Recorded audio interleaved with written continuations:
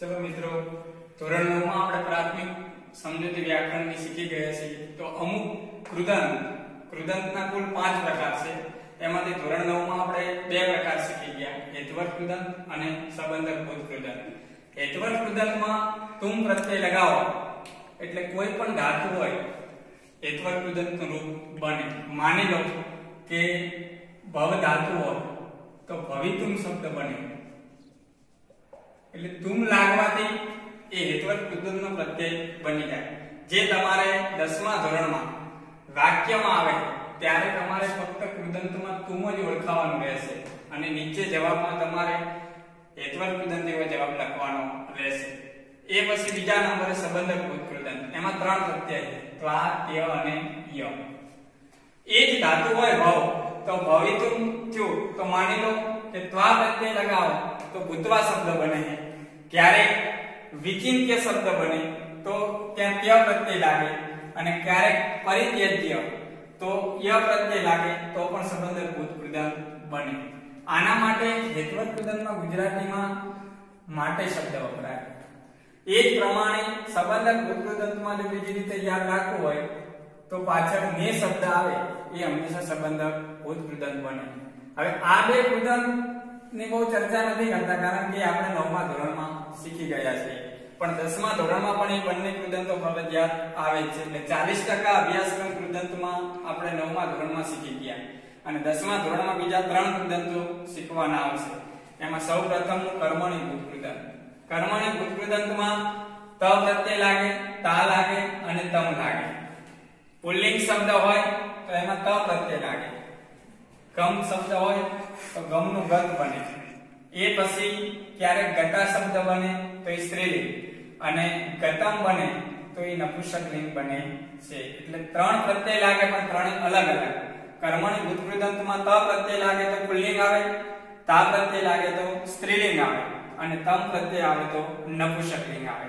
તો આ ત્રીજા નંબરનું કૃદંત એ દસમા ધોરણનું આ બંને કૃદંત આપણે નવમા ધોરણમાં શીખી ગયા અને તમારા બોર્ડના પેપરમાં એક માર્કમાં રેખાંકિત શબ્દમાં પૂછાય છે.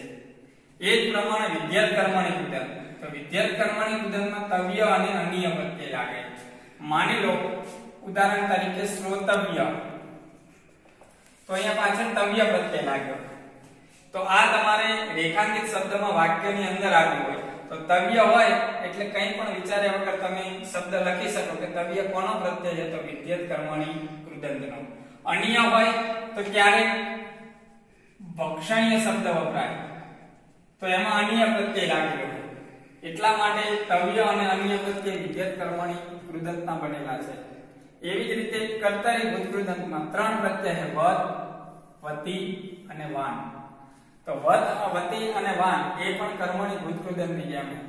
વત હોય તો પુલ્લિંગ, વતી હોય તો સ્ત્રીલિંગ, અને વાન હોય તો નપુંસક લિંગ માની લો, ગતવત શબ્દ હોય, તો કર્મણી ભૂતકૃદંતમાં ફક્ત વત લાગે. એટલે કર્તરી ભૂતકૃદંત બને. તો વત પ્રત્યય એ હંમેશા પુલ્લિંગમાં મુકાય. ગતવતી આવો શબ્દ હોય, તો હંમેશા એ સ્ત્રીલિંગમાં આવે. અને વાન શબ્દ હોય, જેમ કે ગતવાન લખાણું હોય, તો એ હંમેશા નપુંસક લિંગમાં પ્રત્યય આવે છે. તો એવી રીતે કૃદંતના પાંચ પ્રકાર. હેતવર કૃદંત, સંબંધક કૃદંત કર્મણી કૃદંત વિદ્યાત કર્મણી કૃદંત અને કર્તરી કૃદંત હવે તમારે કદાચ કોઈ ઉદાહરણને યાદ ના રાખો તો ફક્ત ને ફક્ત પ્રત્યય યાદ રાખવાથી તમને કૃદંત સહેલાઈથી આવડી શકે. જેમ કે માની લો કે હેતવર કૃદંત એટલે બીજું કંઈ યાદ નહીં રાખવાનું. તુમ પ્રત્યય સંબંધક કૃદંત એટલે ત્વા, ત્ય અને ય. એવી જ રીતે કર્મણી કૃદંત તો ત, તા અને તમ. અને વિદ્યાર્થ કર્મણી કૃદંત તવ્ય અનિય કર્તરી ભૂતકૃદંત તો વદ, વતી અને વાન. કુલ તમારા, આ બાર શબ્દ તમે યાદ રાખો, એટલે તમારો કુદંતનો એક માર્ક તમારો પૂરો થઈ જાય ફાઇનલ આમાંથી તમારો એક પણ માર્ક જશે નહીં, જે તમારા વાક્યમાં રેખાંકિત શબ્દમાં આપેલો હશે. એટલે તમારે ડાયરેક્ટ શોર્ટકટ રીતે કે હેતવર કુદંતમાં તું, સંબંધ કુદંતમાં ત્વા ત્ય અને ય, કર્મણી કુદંતમાં ત, તા અને તમ. પણ પુલ્લિંગ હોય તો ત, સ્ત્રીલિંગ હોય તો તા અને નપુંસકલિંગ હોય તો તમ. એવી રીતે વિધેયક કર્મની કૃદંતમાં તવ્ય અને અન્ય અને કર્તરી કૃદંતમાં વત, વતી અને વાન.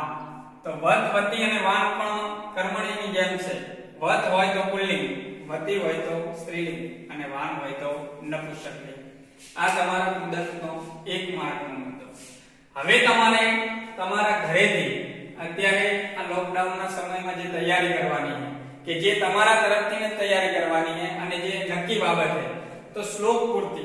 હવે શ્લોક પૂર્તિ આપણે ચાર માર્કની પૂછાય. દસમાના બોર્ડના પેપરમાં શ્લોક પૂર્તિ 4 માર્કની પૂછાય. અને કુલ સાત શ્લોક છે. આ 7 શ્લોકમાંથી ને ફરજિયાત તમારે બે શ્લોક પૂર્તિ આવશે. અને આપણે બોર્ડના બ્લુપ્રિન્ટ પ્રમાણે તમને નક્કી ટીક કરેલી જ આપે છે. તો એમાં તમારે કાવ્ય નંબર 1 એના શ્લોક નંબર પહેલો અને ચોથો, એ બંને શ્લોક પૂર્તિ માટે છે. સમગચ્છદ્વમ સંવદધ્વમ વાળો પહેલો. ચોથા નંબરનો, સર્વે ભવંતુ સુખિનઃ, સર્વે સંતુ નિરામય, સર્વે ભદ્રાણી પશ્યંતુ. એ ચોથા નંબરનો શ્લોક. કાવ્ય નંબર 1 નો પહેલો અને ચોથો શ્લોક. એ તમારા સ્વાધ્યાયમાં પણ પાછળ આપેલું હશે. એ તમે જરા જોઈ લેજો. કાવ્ય નંબર 7 શ્લોક નંબર 6 આપત્સુ રામ સમરેશુ ભીમ દાનેશુ કર્ણ નયેશુ કૃષ્ણ વિષ્ણુ પ્રતિજ્ઞા પરિપાલનેશુ વિક્રાંત કાર્યેશુ ભવાન જન્યે આ શ્લોક શ્લોક પૂર્તિ માટે ત્રીજા નંબરનો કાવ્ય નંબર 7 અને શ્લોક નંબર 6 એ પછી કાવ્ય નંબર 10 શ્લોક નંબર 4 અને 5મો જેમ કે વિવાદે વિશાલે, પ્રમાદે પ્રવાસે. એ ચોથા નંબરનો શ્લોક છે. અને પાંચમા નંબરના શ્લોકની પંક્તિ, અનાથો દરિદ્રો જરારોગ યુક્તો મહાક્ષેમ દિન સદા જાગ્ય વક્ર એટલે ચોથો અને પાંચમો, એ કાવ્ય નંબર 10 કાવ્ય નંબર 13 માં શ્લોક નંબર બીજો અને શ્લોક નંબર છઠ્ઠા નંબરનો એ શ્લોક પૂર્તિ માટે જાતસ્ય હિ ધ્રુવ મૃત્યુ, જન્મ ધ્રુવ મૃતસ્ય ચ. એ બીજા નંબરનો શ્લોક. છઠ્ઠા નંબરના શ્લોકમાં યસ્માન દ્રિજતે લોકે, લોકાન દ્રિજતે ચ એટલે કુલ તમારા સાત શ્લોક ચાર માર્ક જે નક્કી વાત છે કે તમારે ફરજિયાતપણે આ સાતમાંથી જ પૂછાશે અને તે છતાંય વધારે ખબર ના હોય તો તમારા પાઠ્યપુસ્તકના સ્વાધ્યાયની પાછળ આપેલા જ હશે. એ તમારે શ્લોક પૂર્તિ માટે તૈયાર કરવાના. બીજા નંબરે, અર્થ વિસ્તાર તમારે ત્રણ માર્કના પૂછાય અને ત્રણ માર્કના અર્થ વિસ્તારમાં 10 અર્થ વિસ્તાર ફરજિયાત તમને આપેલા કાવ્યવાહી. એમાં મેં અહીંયા વિસ્તાર કાવ્ય અને શ્લોક નંબર લખ્યા તો પહેલું અર્થ કાવ્ય નંબર 7 માંથી લીધેલા બે. શ્લોક નંબર 2 મહા વૃક્ષ સેવિતવ્યો.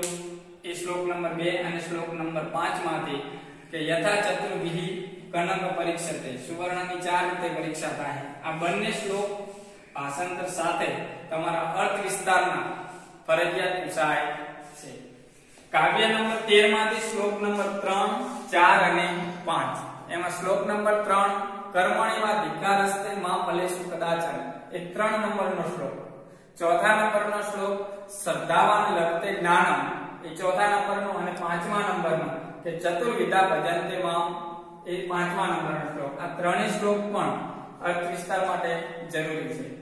કાવ્ય નંબર 18 શ્લોક નંબર બીજો અને શ્લોક નંબર છઠ્ઠો.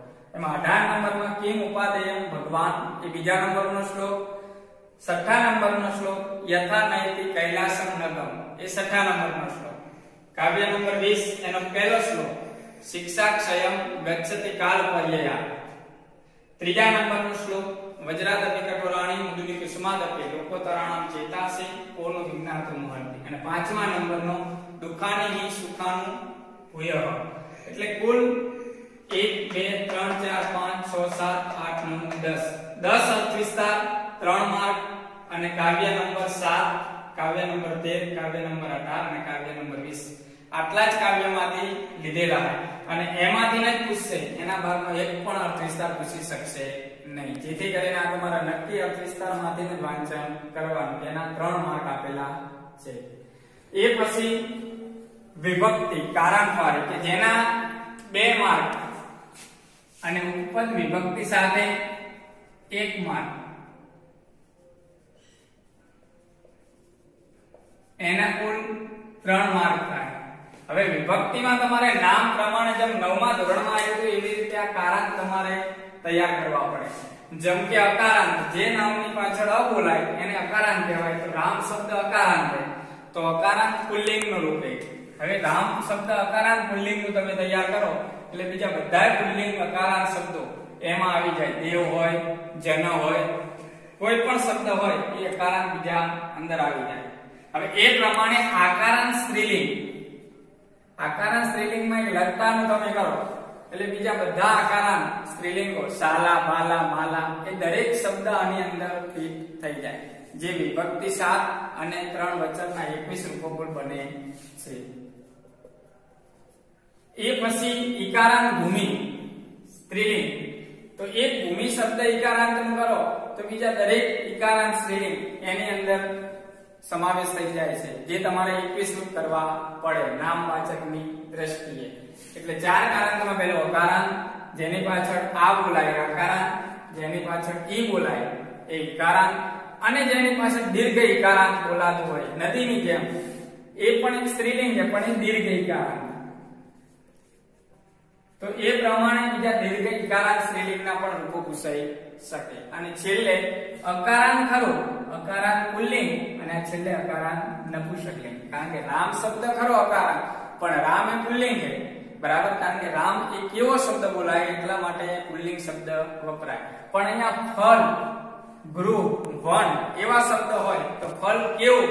એવો શબ્દ વાપરી શકાય એટલે એ નપુંસકલિંગ છે.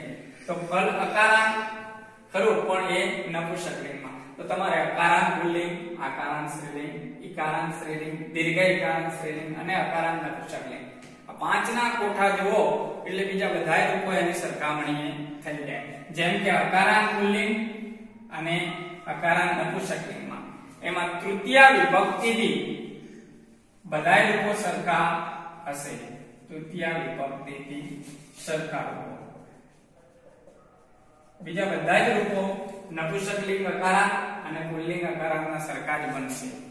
એ પ્રમાણે તમારે પાંચ માર્કના કાળવાચક પ્રત્યય. જે કાળવાચક પ્રત્યય તમારે વર્તમાન કાળ હસ્તન ભૂતકાળ, સામાન્ય ભવિષ્યકાળ આજ્ઞા અને વિદ્યત એમાં ત્રણ તમને આપણે નવમા ધોરણમાં ભણાવી દીધા. વર્તમાન કાળ અસ્તન ભૂતકાળ અને સામાન્ય ભવિષ્યકાળ. જેના આપણે પ્રત્યય આવડવા જરૂરી છે તો જ તમને ક્રિયાપદ આવડી શકે. જેમ કે વર્તમાન કાળ કહો, તો પરસ્મય પદમાં મી વહ મહ સી ત ત તી ત. અંતિ આત્મનેપદ હોય, તો એ વહે, મહે, સે તે દ્વે તે તે. અંતે એવા પ્રત્યય હસ્તન ભૂતકાળ હોય તો અંબમ સતમ, ત તતામન એના આત્મનેપદ હોય તો ઈ વહી, મહી, થાય, તામ, તમ તઈ તામન. એ પ્રમાણે સામાન્ય ભવિષ્યકાળ હોય તો સ્ય લગાવી દેવાનું વર્તમાન કાળમાં. તો શ્યામી પ્રમાણે રૂપ થશે શ્યામી શ્યામહ એક ત્રણ માર્ક આપણે ધોરણ 9 માં શીખી ગયા. એટલે તમારા ત્રણ માર્ક તો તમે નવમામાં જ શીખી ગયા. તે છતાં આપણે અત્યારે રિપીટ કરવાના. એ પછી આજ્ઞાત અને વિદ્યાર્થ એ તમારા ધોરણ 10 ના પાઠ્યપુસ્તકમાં આપેલા છે. આજ્ઞાત અને વિદ્યાર્થ એ ધોરણ 10 ના પાઠ્યપુસ્તકમાં આપેલા અને આ ત્રણ ધોરણ 9 ના પાઠ્યપુસ્તકમાં. આજ્ઞાતમાં જેમ કે આનિયાવા હિતમ ત તુતામંતુ એ પરસ્મય પદ એ આ વહે આ મહે સ્વ તમ. તામ એ પ્રત્યય. અને વિદ્યાર્થીમાં યમિયુ વાળા તો પાંચ કાળવાચકના તમને પ્રત્યય આવડતા હોય, તો એના ઉપરથી તમે માની લો ભૌતિ હે, અલભત હે વદે હે એવા રૂપો બનાવી શકો. માની લો કે આ ભૌતિ વગેરે. હવે આ વસ્તુ એ તમારે ઘરેથી હાલ વાંચન કરવાની. જે મેં તમને નક્કી કીધું, શ્લોક છે અર્થ વિસ્તાર છે એ તમને ટીક કરાવવા જરૂરી હતા, જે તમે તમારી જાતે ઘરેથી તૈયાર કરી શકો. બાકી કૃદંતનું આપણે જે પ્રત્યય આપ્યા એક માર્કના, અને આ કારણ આ કારણ તમને વિશેષ સમજૂતી. આપણે લોકડાઉન ખુલ્યા પછી સ્કૂલ ચાલુ થયા પછી વિશેષ સમજૂતી આપીશું. પાંચ કાળ વાંચન જે તમારે પ્રત્યે પાકા કરવા જરૂરી, જેના 90 શબ્દ થાય. પરસ્મય પદના 9 અને આત્મને પદના 9 એટલે કુલ 18 શબ્દ. હવે પાંચ કાળ વાચક એટલે 18 પંચાને 90 આટલી તમને અત્યારે સમજૂતી આપી. આગળની વિશેષ સમજૂતી આપણે પાર્ટ 2 માં આપીશું.